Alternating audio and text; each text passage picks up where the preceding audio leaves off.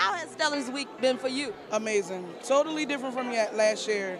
You know, I, I have another testimony to say nobody knew who I was last year to come here and everybody know who I am. So I'm totally grateful for this experience. I don't take it lightly and I'm gonna learn from it. So I actually have a single coming out in February um, called I'm a Winner.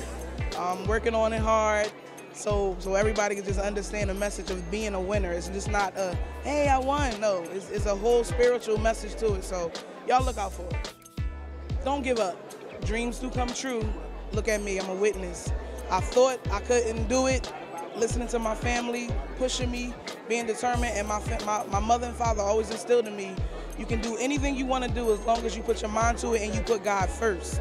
So anything you want to do with the with the love of Christ, do it. Don't give up. Just do it. I want to shout out the Radio Revival. Thank you for having me. I love y'all for real.